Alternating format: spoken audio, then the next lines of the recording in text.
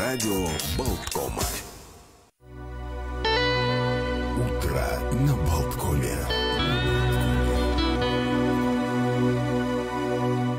Утро на Болткоме. Олег Пек и Александр Шунин в студии. И 23 апреля будет большой концерт. э, Концерт э, украинских и музыкантов, и участников э, ну, так скажем, комедийного жанра стендап э, бывших участников КВН, юмористических шоу, такой очень необычный, интересный формат. И один из участников этого э, большого концерта, замечательный э, и продюсер, и сценарист, и артист Евгений Сморигин с нами на прямой связи. Здравствуйте, доброе утро. Здравствуйте, доброе утро. Участник дизель-шоу, да, конечно же, мега популярного дизель-шоу. Э, Может быть, ну, начнем с, наверное, такого напрашивающегося вопроса во время войны. Вот юмор, насколько он э, имеет право на существование и в каких не задают ли какие-то рамки, например, э, вот ну эти тр- трагические действительно для многих события. Юмор всегда э, имеет существование.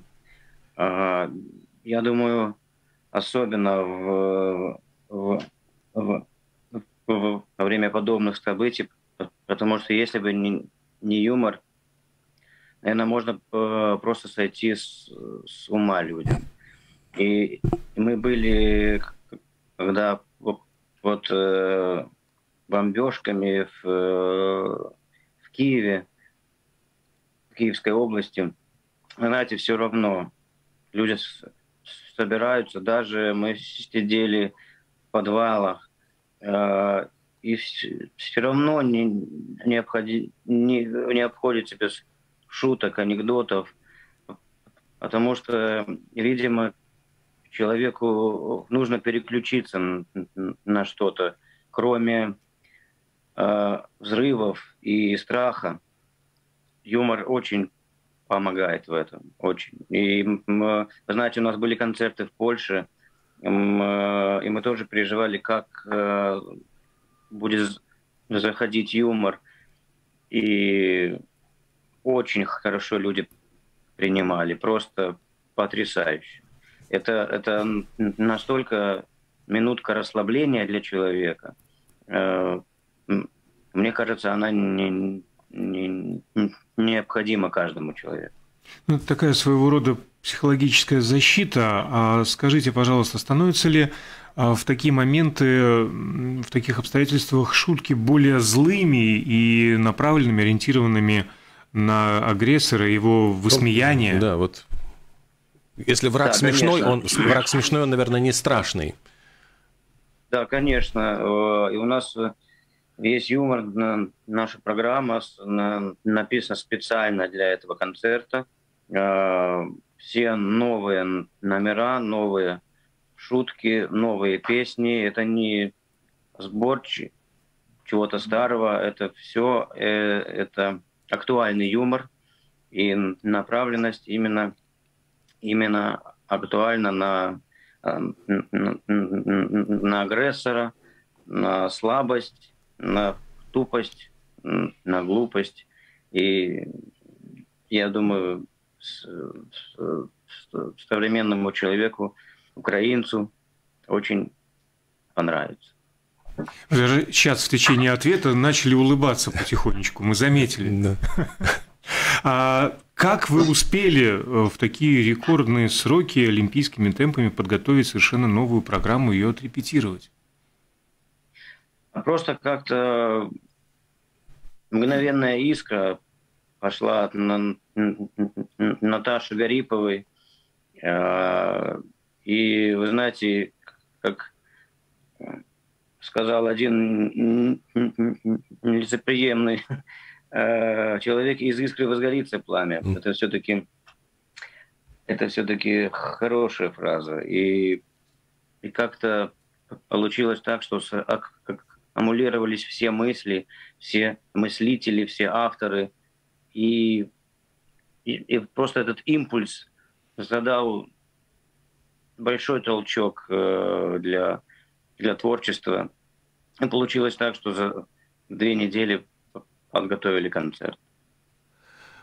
Насколько э, вот вы были свидетелями действительно вот каких событий э, на Украине, как, как это все произошло э, для вас? И э, вот эта вынужденная сейчас э, работа за границей, что, э, ну, как вы видите, вот это пребывание за пределами Украины, временное, для многих, может быть, людей это вот, ну, и станет постоянным каким-то, ну, во всяком случае, долгим каким-то вот пребывание вне Родины? Нет, нет, у меня вынужденное пребывание вне Родины, потому что я не могу оставить мою семью, у меня трое детей, а жена два года лечит спину и не может поднять более трех килограмм. Э, вот, поэтому я никак не могу их оставить одних здесь. Вот, и я уверен, что в скором будущем мы все-таки вернемся на нашу родную Украину, и все будет хорошо, будем отстраивать, будем, будет Украина жить. А, вы ведь родились в Беларуси, а, и Украина да. стала вашим домом. Какие чувства может испытывать человек, когда его две родины находятся в состоянии, мягко говоря, конфликта между собой? А, вы знаете, моя родина, там, где моя семья, у меня дети родились в Украине, у меня жена украинка, 15 лет я в Киеве живу. Вот. В Беларуси, конечно, люблю моих белорусов, моих сябров. У меня там остался брат. Родители, к сожалению, умерли. А у меня остался брат. Там, и я, моя родина – это Украина. Это я заявляю везде и всегда последнее время, и так и будет. Э, вы были участником очень популярной команды КВН, и это было еще вот, ну, очень давно. Вот как, э, по-вашему, изменился КВН? Потому что вот я иногда, когда пересматриваю какие-то старые выпуски, старые шутки, меня просто поражает, насколько, ну, а, абсолютно изменилась эта игра. Вот следите ли вы за современным КВНом, и который, на мой взгляд, ну, стал абсолютно не то, что даже беззубым, а просто обслуживающим как бы э, ну вот власть. И если смотреть на то насколько смелыми были шутки там начиная с конца 80-х когда он возродился еще во времена перестройки и были э, ну фраза например партия дай порулить вот три слова которые прозвучали с экрана мне кажется сделали в умах людей гораздо больше чем э, статьи там экономистов которые объясняли что нужны нужны перемены. То есть э, КВН который когда-то был просто символом всего нового, яркого, смелого. Э, как он э, смог так деградировать? Да, вы абсолютно правы. КВН стал популярен именно потому, что это было смело, на злобу дня, и молодые студенты могли высказать свое слово. Они могли сказать партии и, и э, управлению. И люди были в шоке. Как можно со сцены, с телевизора говорить подобное? Поэтому все были около экранов. Все смотрели, как они, эти молодые люди, могут настолько остро шутить, не просто говорить, а вот партия плохая. Нет, а с юмором, с подколкой, с, с сатирой. Ага, вот какие интересные времена и какие интересные ребята, и это им позволяют. А со временем а, у нас были даже такие шутки, мы подкалывали именно власть. А, а сейчас КВН стал да, обслуживающим персоналом для одного человека, как и все его телевидение. А, к сожалению, превращается снова все в сталинские времена. И поэтому, естественно, ни за каким КВНом я больше не слежу, мне это не интересно. К сожалению, КВН для меня умер. э, как клуб веселых и находчивых. Но Его за... уже нет. Но зато вот выходцы из КВН э, организовали, ну, органи... продолжают организовывать огромнейшее количество всевозможных юмористических шоу, в частности, вот «Дизель-шоу». Может быть, несколько слов вот о вашем участии, потому что у нас это тоже была невероятно популярная программа, постоянно шли э, записи выступлений «Дизель-шоу» на латвийском телевидении. И... Да, мы хотели к вам приехать, uh-huh. и, еще, и еще приедем к вам обязательно нашим составом «Дизель-шоу». А пока что мы э, приедем уникальным составом. Два самых как, конкурирующих проекта в Украине – это, опять же, выходцы из КВН, 95-й квартал и дизель-шоу. Мы объединились на одной сцене. Э, все преграды стерты, вся конкуренция убрана. Вся Украина собралась в один большой кулак. И, и мы вместе приедем с 95-м к, к кварталам с Леной Кровец и выступим на одной сцене 23-го в в Риге. Рига-арена, да? Вроде? Да, арена Рига. Да, да, да, да, я напомню, воскресенье, 23 апреля, 6 часов вечера, благотворительный концерт «Добрый вечер, мы из Украины» с участием самых известных э, исполнителей и комиков э, из э, Украины. И все средства, конечно же, пойдут на благотворительные цели, благотворительный фонд для закупки лекарств, еды и других гуманитарных продуктов для женщин, детей и пожилых людей. Да, да. Евгений, Евгений Смолигин с нами на прямой связи. Вот скажите, Евгений, а насколько э, вообще вот э, в юморе э, существуют ли какие-то для вас, вот, ну, не знаю, красные линии, потому что очень много, э, ну, если говорить о, о даже европейской, западной культуре, там, э, ну, возникают какие-то э, ограничения, связанные, ну, вот, что на эту тему шутить нельзя, там, на тему национальностей, э, людей с ограниченными возможностями, и вот начинаются, ну, как бы вот какие-то такие вещи, когда... Да, хотя бы недавняя история на церемонии Оскара. Да. Насколько допустима э, такая шутка?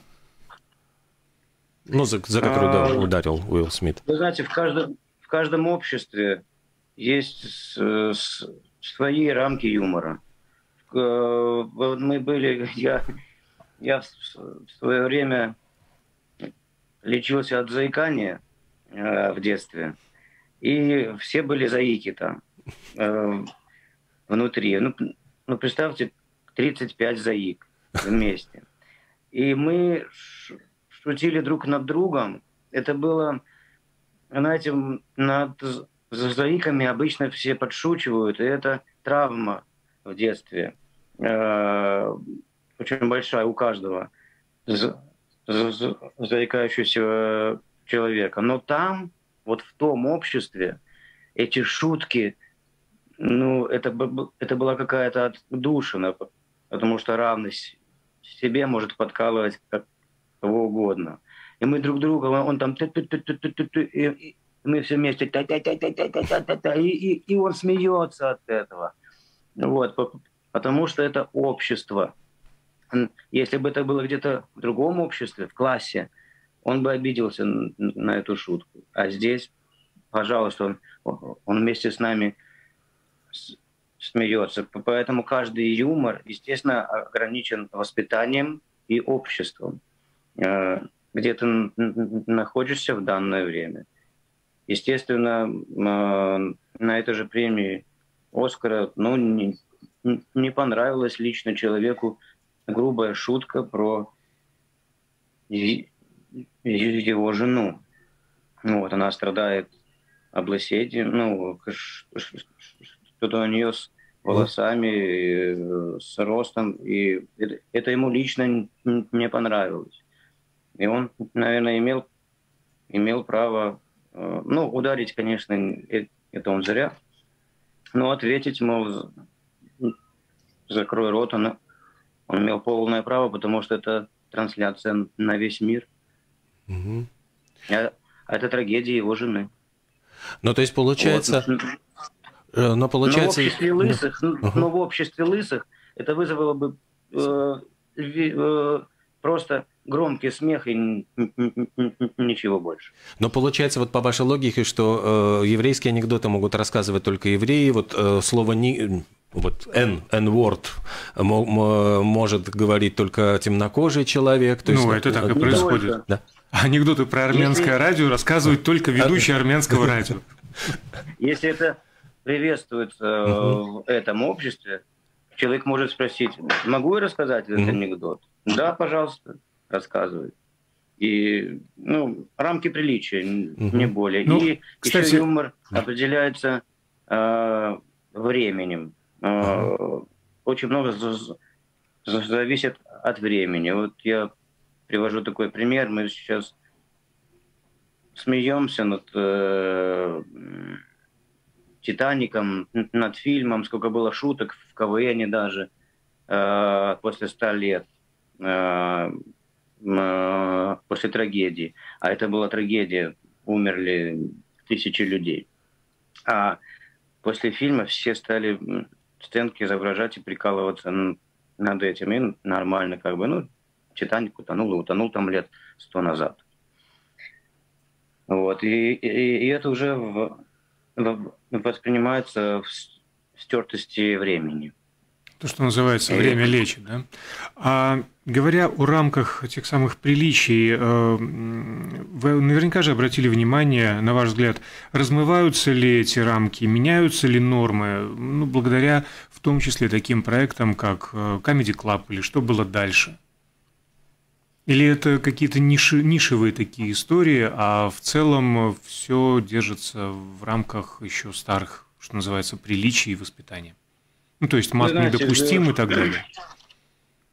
Любую передачу всегда определял, э, определяет человеческое общество. И если ему нравится обществу, то и будут подобные передач. Я не представляю лет 30 назад э, подобную передачу, то, что было дальше с э, там, матами, перематами и унижением друг друга. Сейчас это общество нравится.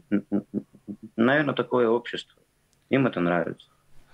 Вот. И пока им это, это будет нравиться, рейтинги будут расти. И пока есть рейтинги, то они будут это производить. Я не, не представляю подобную передачу где-нибудь в, в, в Европе пока. Ну, не вижу. А скажите, вот в России, например, сейчас ну, действительно происходит очень сильное расслоение, разделение, потому что кто-то выступает против войны, но это э, ну, отдают себе отчет, что каждый человек, который ну, заявляет, что он против войны, он рискует тем, что он может потерять работу, потерять возможность э, гастролировать, выступать. Вот э, как вы поддерживаете отношения со своими коллегами в России? Насколько или там, ну вот рвутся ли эти связи? То есть кого-то вы перестали уважать, с кем-то вот встречаться? Общаться, здороваться? Рвутся мосты просто, не просто связи тех людей, которых я считал ранее своими друзьями, с кем я мог поделиться близким, а, просто не воспринимают, молчат. И дальше, ладно, мы молчали.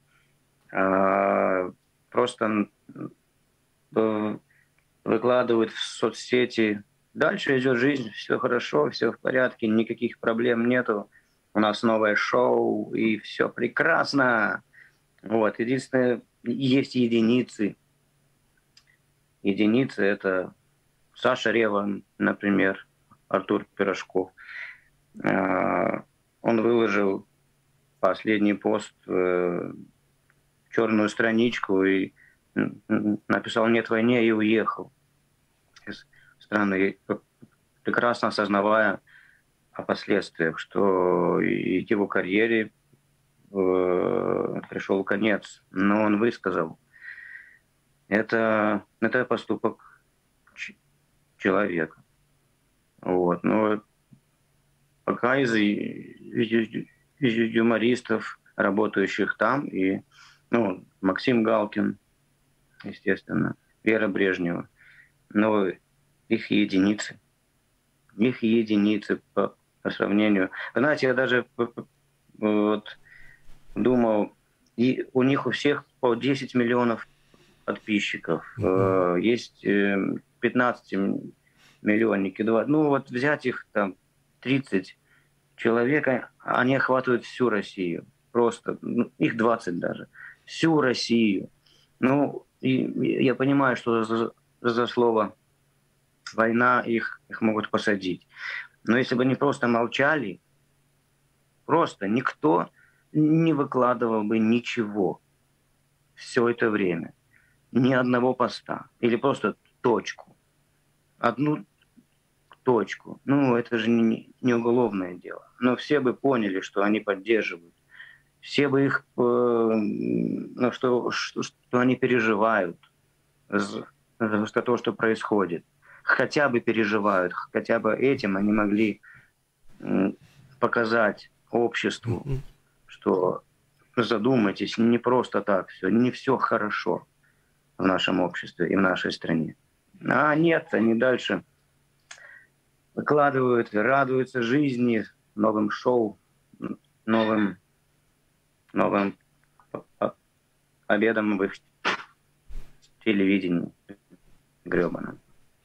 Евгений, мы можем с вами только согласиться. Это Жалко. действительно нелепо и обидно и горько видеть э, подобные публикации. Но есть ведь и обратное движение. Вспомним Лободу, замечательную украинскую певицу которая э, уехала и помогает э, оставшимся на Украине, тоже она собирает различные благотворительные акции, проводит и за свой счет покупает и посылает на родину. И ей же прилетело за то, что она годами выступала в России со словами, мол, ты что, не знала, для кого ты выступаешь?